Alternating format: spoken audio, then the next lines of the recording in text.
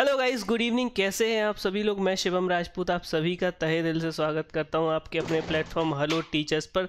यहाँ पर मैं आज आप लोगों के लिए लेकर आया हूँ एक आप लोगों का इंडिविजुअल डिफरेंसेस का एक इंपॉर्टेंट लेक्चर जिसमें हम लोग डिस्कस करेंगे आज।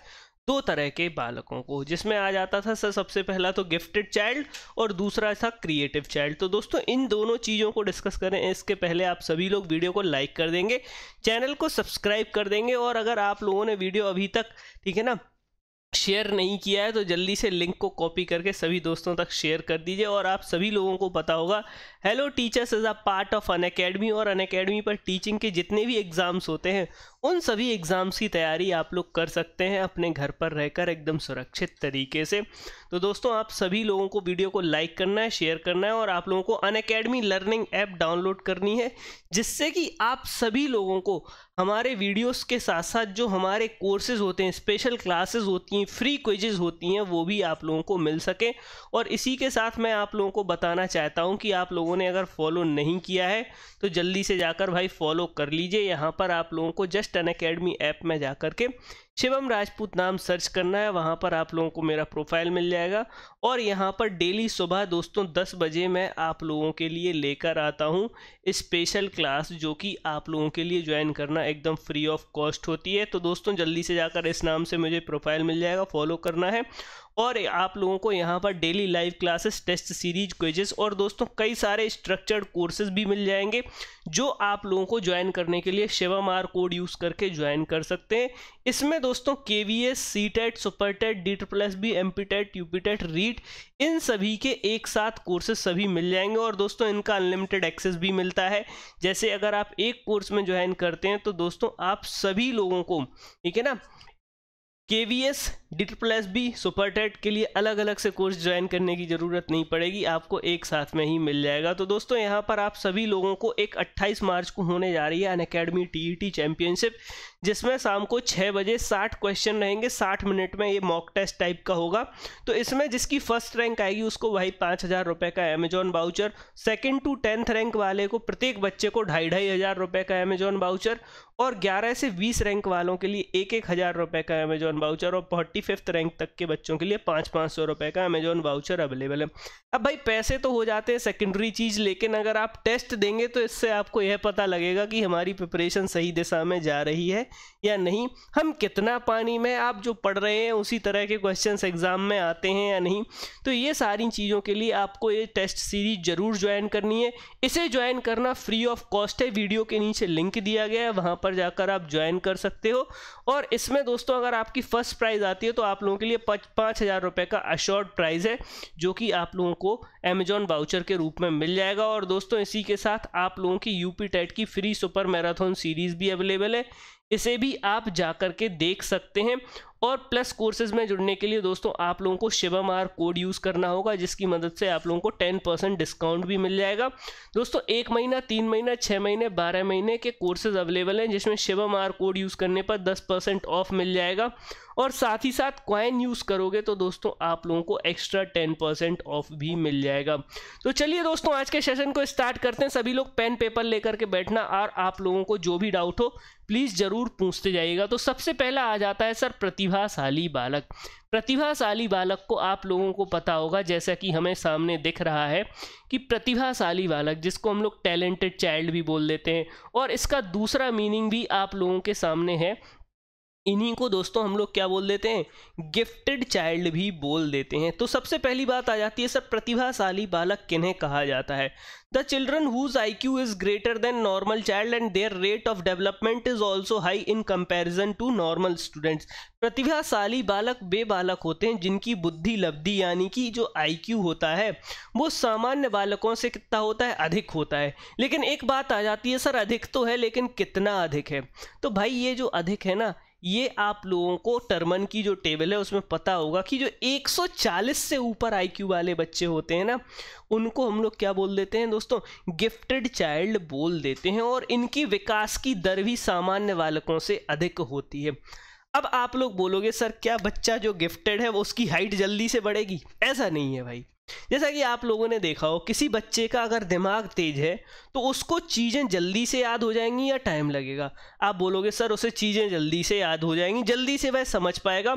जैसे क्लास में सर जोड़ घटाना पढ़ा रहे थे तो जिस बच्चे का दिमाग तेज है, वो जल्दी से सीख लेगा या नहीं भाई? बिल्कुल सीख लेगा। अब उसने अगर ये चीज़ें जल्दी से सीखी हुई हैं तो दोस्तों, उसको आगे की चीज़ें सीखने में भी मदद मिलेगी। आगे की चीज़ें भी वह जल्दी जल्दी सीख सकता है या नहीं? तो दोस्तों, प्रतिभाशाली बालक वो होते हैं जिनका आईक्यू 140 से अधिक होता है। इतनी बात आप लोग नोट डाउन कर लोगे और इसकी वजह से इनके विकास की दर। और अगर आप लोगों को विकास में पूछा जाए, सर, कौन सा विकास? तो आप लोग ध्यान रखोगे, सर, मानसिक विकास या मेंटल डेवलपमेंट जो होता है, वो काफ़ी तेज़ी से होता है।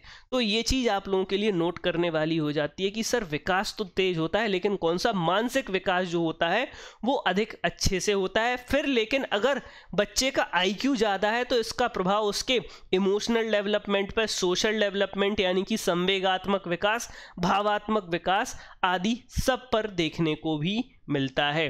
तो दोस्तों, ये तो था इनकी बुद्धि लब्धि से रिलेटेड पॉइंट दूसरी बात they are always eager to ask question वो हमेशा नए नए क्वेश्चंस को पूछने के लिए क्या होते हैं? तैयार होते हैं। और वो किसी एक काम पर लंबे समय तक के लिए क्या कर सकते हैं दोस्तों? फोकस कर सकते हैं। क्या कर सकते हैं? फोकस कर सकते हैं। मतलब ध्यान लगा करके किसी एक काम को करना लंबे समय तक के लिए इनके लिए आसान होता है। जैसे आप लोगों ने देखा होगा नॉर्मली हम किसी काम को करते हैं, शुरुआत में हमारा मन लगता है। लेकिन धीमे धीमे जब हम करते जाते हैं तो उसके प्रति दोस्तों हम बोर फील करने लगते हैं यानी हमारा मन ऊब जाता है। लेकिन गिफ्टेड बालकों के साथ ये चीज़ बड़ी अच्छी होती है कि ये किसी चीज़ पर, ये किसी काम को अगर कर रहे हैं ना तो एक साथ फोकस करके, एक चित्त लगा करके कर सकते हैं और काफ़ी लंबे समय तक। जैसे कि लगातार तीन चार घंटे बैठ कर के पढ़ना, मेहनत करके। तो ये सही बात है या नहीं? लगातार चार पाँच घंटे बैठ कर के पढ़ना भी एक बड़ी बात होती है। इसके लिए बहुत ज़्यादा पेशेंस बहुत ज़्यादा मेहनत की ज़रूरत होती है। लेकिन जो गिफ्टेड बच्चे होते हैं, उन्हें ये करने में थोड़ी सी आसानी होती है। और ऐसा नहीं है कि जो सामान्य बालक है, वो नहीं पढ़ सकता, वो पढ़ सकता है। लेकिन एक गिफ्टेड बच्चा जो है, इतने टाइम में ज़्यादा सीख लेगा, लेकिन सामान्य बालक को उतने टाइम में थोड़ा सा कम सीख पाएगा। तो दोस्तों, ये दोनों पॉइंट आप लोगों को आई होप क्लियर हो गए होंगे। एक तो सबसे इंपॉर्टेंट क्वेश्चन यही आ जाता है कि जिन बालकों का आई क्यू से अधिक होता है, उन्हें हम लोग क्या कहते हैं? और दोस्तों, जो बालक होते हैं प्रतिभाशाली, वे किसी कार्य को, एक कार्य को कितने समय तक कर सकते हैं? दूसरा आ जाता है सबसे इम्पोर्टेंट कि भैया, जैसे आपकी क्लास में आप पढ़ा रहे थे अब समावेशी कक्षा का हम लोग फॉलो करते हैं। समावेशी कक्षा कक्ष तो आप जानते ही हो, जहाँ एक साथ एक ही छत के नीचे सभी प्रकार के बालक पढ़ाए जाते हों, उसे हम लोग समावेशी कक्षा कक्ष बोल देते हैं। अब जैसे आपकी क्लास में कोई समावेशी कक्षा पढ़ा, में हो, आप सभी प्रकार के बच्चे हैं, कुछ पाँच छः बच्चे जो हैं, प्रतिभाशाली बालक आ गए हैं। कैसे बालक आ गए हैं भाई? प्रतिभाशाली बालक आ गए हैं। तो अब इनको पढ़ाने के लिए अगर आप नॉर्मल मेथड और नॉर्मल स्पीड से पढ़ाओगे तो ये जो बालक हैं, ये क्या हो जाएँगे भाई? कुछ टाइम के बाद निश्चित ही भाई बोर फील करने लगेंगे और बोर हुए तो भाई या तो ये ऊधम करेंगे या क्लास से उठ के भाग जाएँगे। सही बात है। तो इनको पढ़ाने के लिए हम क्या करते हैं दोस्तों? स्पेशल एजुकेशन प्रोग्राम बनाते हैं। क्या करते हैं भाई? स्पेशल एजुकेशन प्रोग्राम कैसे होते हैं भाई वो स्पेशल एजुकेशन प्रोग्राम जैसे कि भैया उनको पढ़ाने के लिए आप समृद्ध शिक्षा कार्यक्रम, जिसमें आप लोगों का ग्रुप डिस्कशन हो, निबंध लेखन प्रतियोगिताएँ हो गेम्स हो, ठीक है ना? और कई सारी क्रियाएँ हों, जैसे कि यहाँ पर निबंध लेखन प्रतियोगिता, ठीक है ना? निबंध लेखन प्रतियोगिता लेखन प्रतियोगिता, इनको कक्षा में उन्नति दे करके मतलब किसी बच्चे के कक्षा पाँच में अच्छे नंबर आए हैं तो उसे आप कक्षा छः स्किप करा करके सीधा कक्षा सात में एडमिशन दिला दो। सीधा क्या करो? कक्षा सात में एडमिशन दिला दो। तो इससे क्या होगा कि दोस्तों, वो अपनी शिक्षा को और भी अच्छे लेवल पर ले जाएगा, क्योंकि जो कक्षा सात की किताबें होंगी, उनका लेवल कक्षा छः की किताबों से तो अधिक होगा ही या नहीं? तो दोस्तों, इसलिए हम इन्हें कक्षा कक्ष में उन्नति देकर भी आगे बढ़ा सकते हैं। और लास्ट और सबसे इंपॉर्टेंट पॉइंट प्रतिभाशाली विशेषताओं में कि, सर, ये जन्मजात होते हैं ना कि अर्जित। प्रतिभा जो होती है, वो मोस्टली देखा गया है, वो कैसी होती है? इनेट एबिलिटी होती है और एक्वायर्ड बहुत ही कम होती है। अर्जित नहीं की जा सकती है प्रतिभा। प्रतिभा जो होती है दोस्तों, जन्मजात मतलब जन्म से ही आती है। जैसे कि किसी बच्चे की पेंटिंग बहुत अच्छी है, किसी बच्चे को म्यूज़िक में बहुत ज़्यादा इंटरेस्ट है। अब आप लोगों ने देख लिया, किसी बच्चे की पेंटिंग बहुत अच्छी है। मतलब जन्म से ही उसके हाथों पर कंट्रोल बड़ा प्यारा है।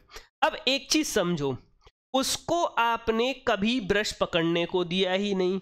उसको कभी ऐसे स्कूल में भेजा ही नहीं जहाँ उसे पेंटिंग वगैरह की प्रैक्टिस कराई जाए। तो एक चीज़ तो आपको पता है कि भाई बचपन से ही कितना हष्टपुष्ट बालक हो, कितना ही हेल्दी हो, बढ़िया पहलवान हो, अगर उसे खाने के लिए आप कुछ ढंग का खाना ही ना दो, ठीक है ना?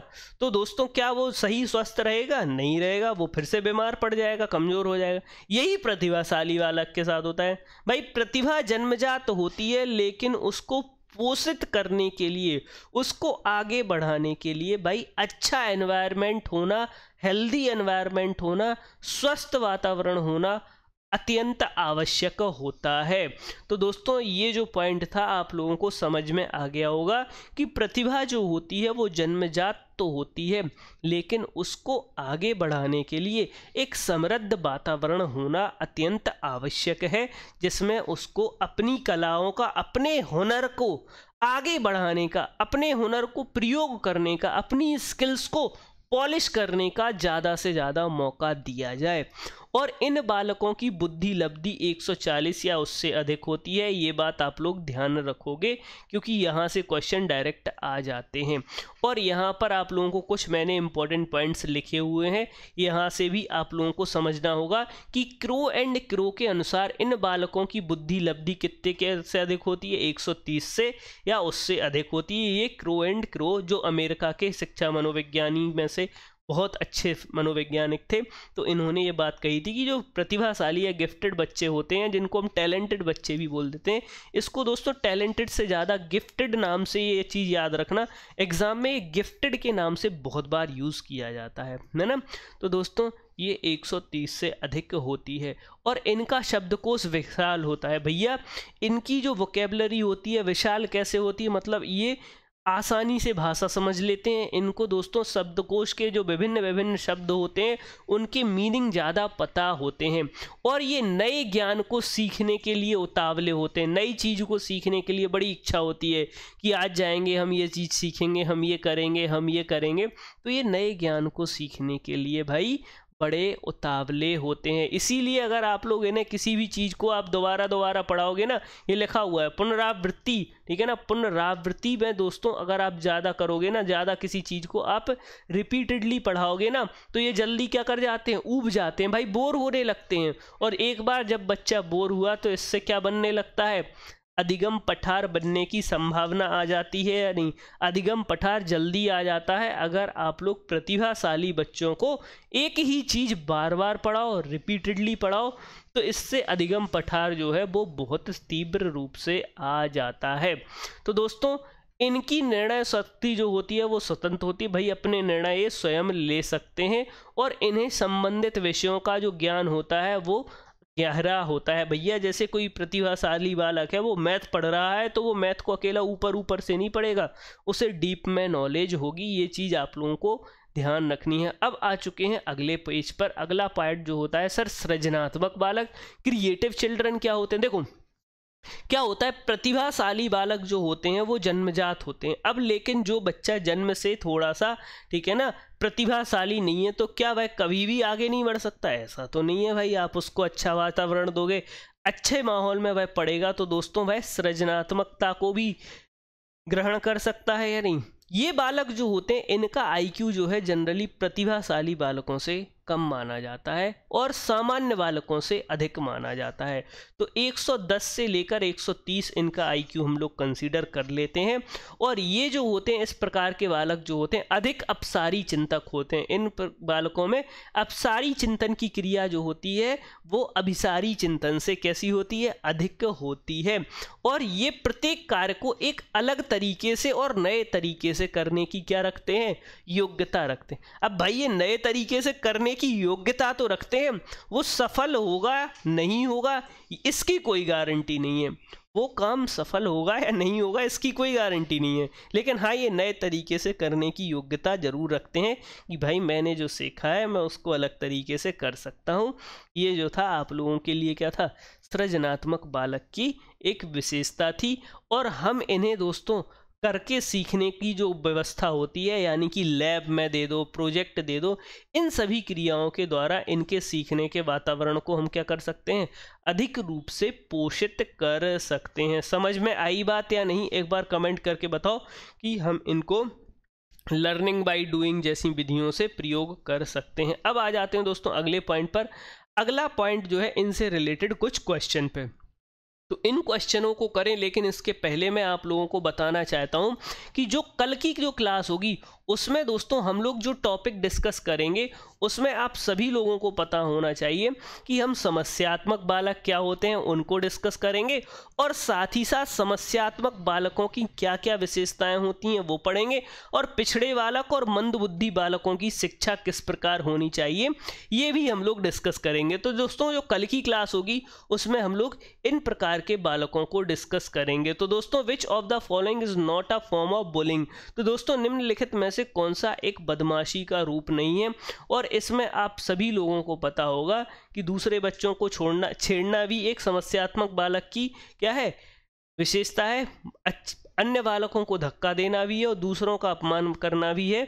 लेकिन तीसरा जो है वो ऑप्शन नहीं होगा, क्योंकि ये जो है आप लोगों के सामाजिक बालक की, ठीक है ना, विशेषता है। क्लियर हुआ? चलो तो दोस्तों तीसरा हो जाता है आपका सही जवाब। अब हम आ चुके हैं अगले क्वेश्चन पर।